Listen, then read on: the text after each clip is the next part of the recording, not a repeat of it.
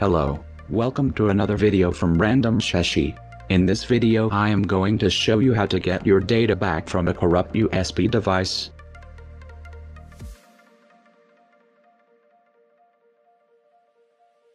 First go to the link given in the description and download Recuva. It is a free file recovery software.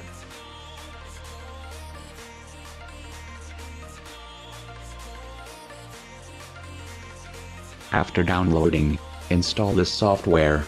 I already installed the software a while back.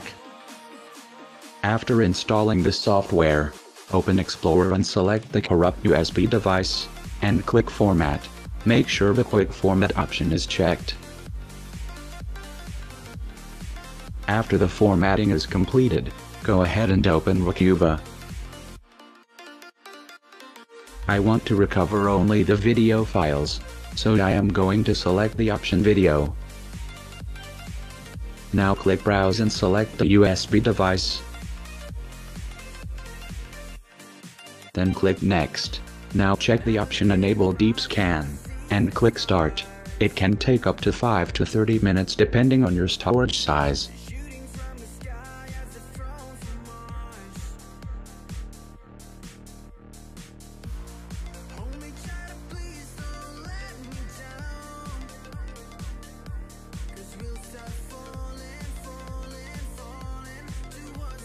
Now select the files you want to recover, and click the recover button. Now select the location for the files to be recovered to, and click OK. It can take up to 45 minutes depending on your storage size.